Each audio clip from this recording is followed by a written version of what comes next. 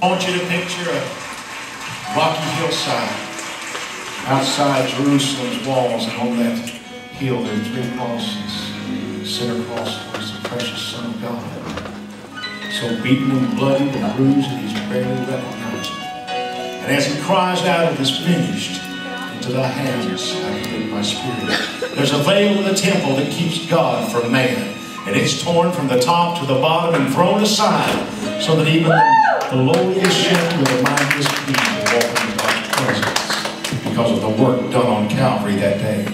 Behold, the Lamb of God that was slain for the sins of the world, for your sins tonight. Won't you come and behold the Lamb? Amen. The angels watched in horror.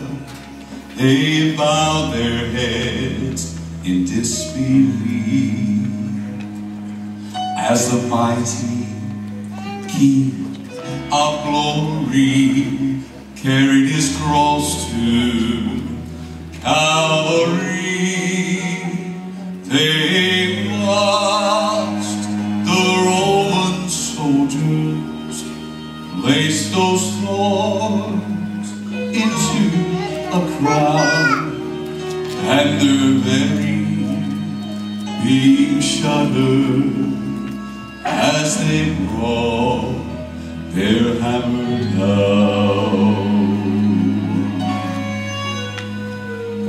But as the cross falls into its socket, a mighty angel lifts his sword, and ten thousand times ten thousand prepare to move at my Father's word.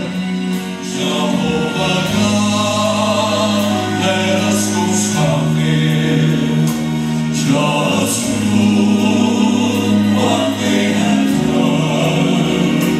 Man's not worth the price he's paid.